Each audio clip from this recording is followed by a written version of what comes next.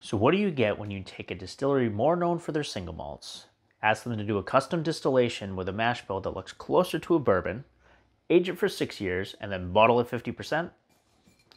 You get a bottle of liquid gold, that's what you get. Hello and welcome to Liquorious George. My name is George, and today I'm going to be guiding all of you through my curiosities with the Scotch Malt Whisky Society's release from Distillery G16 Thunderstorm in a Beehive.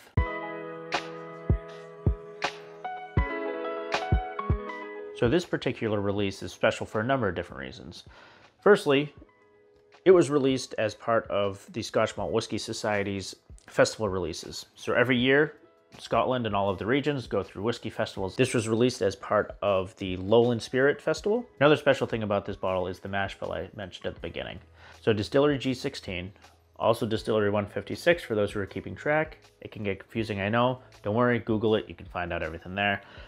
They essentially did a custom distillation specifically for the Scotch Malt Whisky Society. So the mash bill, as I was mentioning at the beginning, is actually made up of 58% corn, 21% malted barley, and 21% unmalted rye. So that's much more like something you would find in a bourbon versus a scotch. And then when it came to aging this whiskey, they put it in a brand new charred oak barrel with toasted heads. That's almost unheard of. Most of the time with scotch whiskey, you will find that they use ex-bourbon barrels or ex-sherry barrels, ex-wine barrels, something that has already had a liquid in it, so it takes all of those flavors from it. So this is just a completely different whiskey that you would find that normally would come out of Scotland. So all that being said, I'm very excited to give this a try and pop it open, have a little taste. Let me read off the rest of the stats that are here on the bottle itself, and then we can dive into it. So as I mentioned, it's rare release from Distillery G16. It's one of 1,300 barrels. The name is Thunderstorm in a Beehive. For those in the UK and other parts of the world, the name might be different. Um, I think it was Dark and Stormy Creme Brulee, if I remember correctly. Um, but in the US, Thunderstorm in a Beehive. So it is six years old. It's a single grain Scotch whiskey and it's from the Lowlands. As I did mention, it is bottled at 50% ABV and that is a nod to the bottled and bond bourbon that you'd find here in the States and the requirement that it is barreled exactly at 50% ABV. Flavor profile wise, it is coming to us out of the spicy and dry flavor profile. So we are gonna pop the top on this one. We're gonna get into it and actually start giving it a taste. So let's first take a look at the color. So hopefully you can see that pretty good on the cameras there. So it's a nice brownish color, little amber. All right, pretty dark. Actually, for six years old, um, it's got some good color to it. So Scotch Malt Whisky Society doesn't put anything into any of their releases, so this is straight out of the cask like this, so no filtering, no coloring. So that's all color there, straight from that uh, charred brand new oak barrel. But it's a nice color going on. Actually, is the, what is that floating? Is that...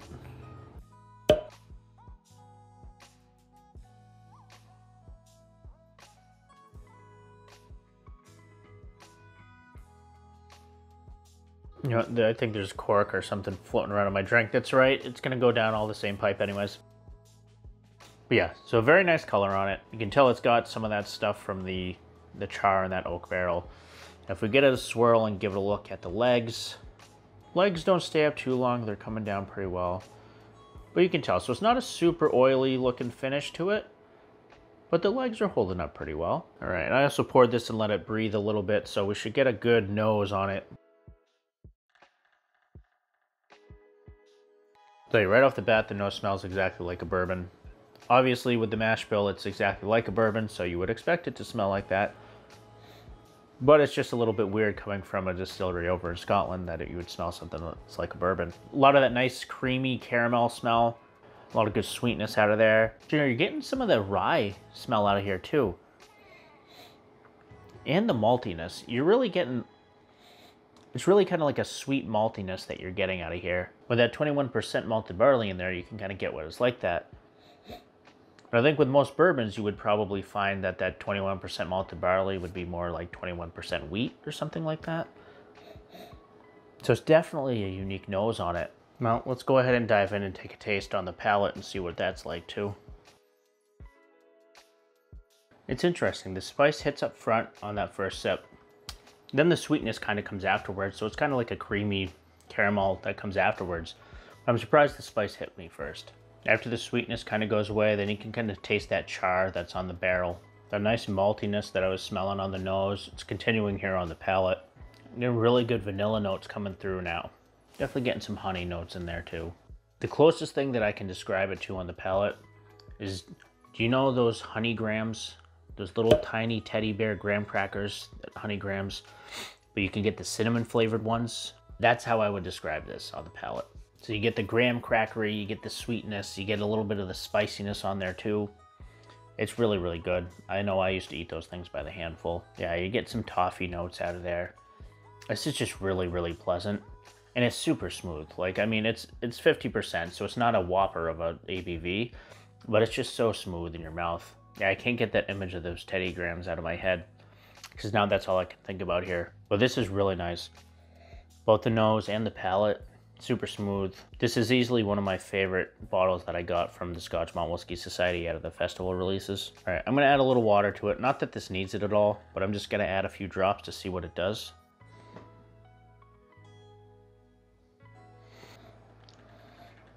Now with the water on the nose, it definitely lightens it up like usual. But there's a note on here. I almost feel like I'm smelling a tea bag.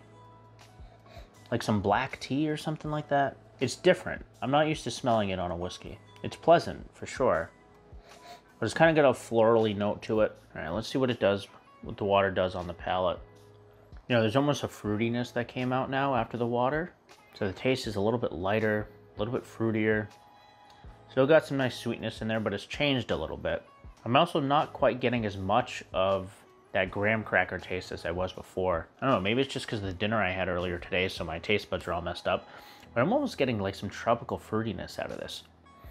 Not a lot, but like I feel like a really little bit on the back. Personally, I think I prefer it without the water. But I could see some people, if you like a little bit of a lighter taste, a little fruitier taste, you might like to dilute it a little bit. From a finish perspective, it's not too long. Say short to medium. It's very nice though. After it's been sitting for a while, that spice kind of comes back. So I'm getting a lot more of that spice. A little bit of a cinnamon chili type of a spice going on. So let's go. So summary of what I think about the Scotch Malt Society's rare release from Distillery G16. So Thunderstorm in a Beehive. I absolutely love this thing. Right, every single time I've opened this up and had a pour, I love it. It changes a little bit every time, but every single time I still love it the way that it changes. I also think this is kind of a whiskey that, for those who don't normally drink scotch and normally will drink bourbon, this one might be for you. You guys might want to try this one because obviously it's got a bourbon style mash bill, but it's got a lot of that malted barley in there too. So you get a lot of the characteristics that you would normally get out of scotch. So some of that maltiness and the spice, it's just fantastic. And yes, I know that I feel like every single time I open up a bottle from Scotch Malt Whisky Society, I think it's a hit. Is it a coincidence? I don't know. But I think I'm willing to put my money on this is the sleeper pick for the festival releases this year.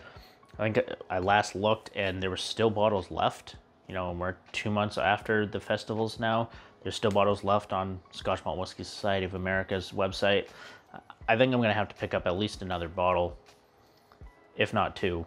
I highly recommend trying to get yourself a taste of this, at least to, so that you can taste what it's like. Because based on what they're saying, they're probably never going to see this again at least with a mash bill like this from that distillery. So like many of the releases that they put out from the Scotch Malt Whisky Society, it's one of a kind. I'm going to go ahead and finish this glass and try not to pour myself another one. Uh, but until next time, everyone stay curious and cheers.